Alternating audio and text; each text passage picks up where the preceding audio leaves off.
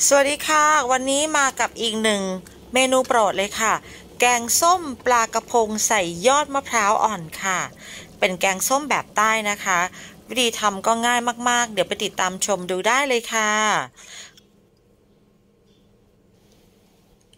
นำน้ำใส่ถ้วยเอาไว้นะคะ หยอกเกลือลงไปนิดนึงค่ะ เพื่อที่ว่าเราจะเอาไว้แช่ตัวยอดมะพร้าวนะคะ อันนี้ได้มา สดๆ อ่อนๆ เลยค่ะ จัดการหั่นเป็นชิ้นพอดีคำนะคะ จะหั่นแบบสติ๊กนะคะ หั่นเป็นท่อนๆ แบบนี้หรือว่าจะหั่นแบบไหนก็ได้ตามสบายเลยค่ะ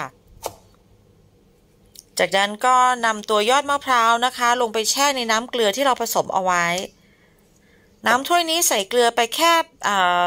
ปลายนิ้วแค่นั้นค่ะ ไม่ต้องเยอะมาก เดี๋ยวจะเค็มไปนะคะ ทีนี้ก็จัดการ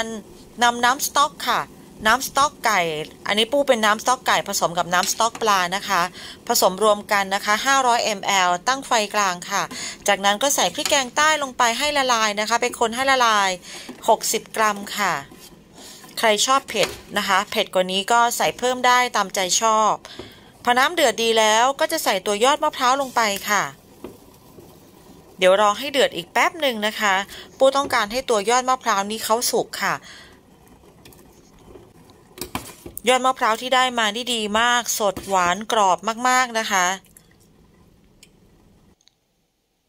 เนี่ยค่ะ พอน้ำเดือดอีกรอบหนึ่งนะคะ เราก็จะ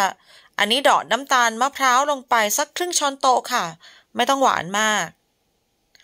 จากนั้นเลยก็จะปรุงแต่งรสนะคะรสเปรี้ยวด้วยน้ำมะขามเปียกค่ะ แล้วก็จะใช้น้ำมะขามเปียกยี่ห้อนี้ยี่ห้อเดียวนะคะ อันนี้ไม่ได้เป็นสปอนเซอร์นะคะ แต่อยากแนะนำให้ใช้ด้วยใจจริงเลย เพราะว่าใช้ประจำค่ะ ใส่ลงไปหนึ่งช้อนโต๊ะนะคะ เขาจะมีความหวานอมเปรี้ยวค่ะ ไม่หวานโดดมากจนเกินไป จากนั้นนะก็จะหยิบชิ้นปลาใส่ลงไปทีละชิ้นทีละชิ้นค่ะ ปลานี่ปูใส่ไปประมาณ 250 กรัมนะคะ ใส่ปลาลงไปแล้วไม่คนเด็ดขาดนะคะ ห้ามคนเด็ดขาด เนื่องด้วยโปรตีนจากปลาเขาจะละลายออกมาทำให้แกงของเรามีกลิ่นคาว มีรสคาวนะคะ จากนั้นก็จะใส่ตัวไข่ปลาเรียวกิวลงไปค่ะ อันนี้ล้างน้ำทำความสะอาดนะคะ แล้วก็ลวกสุกแล้วค่ะ ใส่ลงไปได้เลย ใช้ทัพพีกดๆนะคะ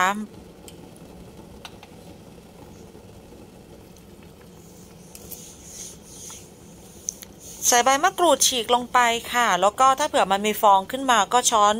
ฟองทิ้งออกด้วยนะคะ น้ำแกงเราจะได้สวยค่ะ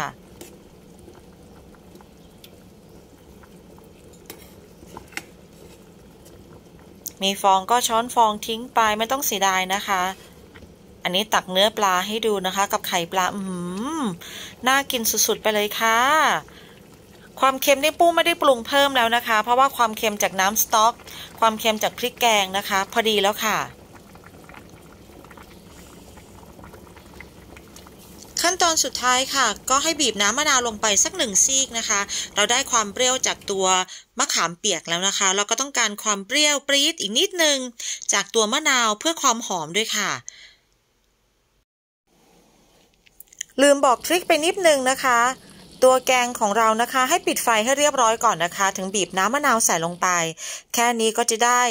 แกงส้มใต้ที่อร่อยถูกใจทุกคนแล้วค่ะ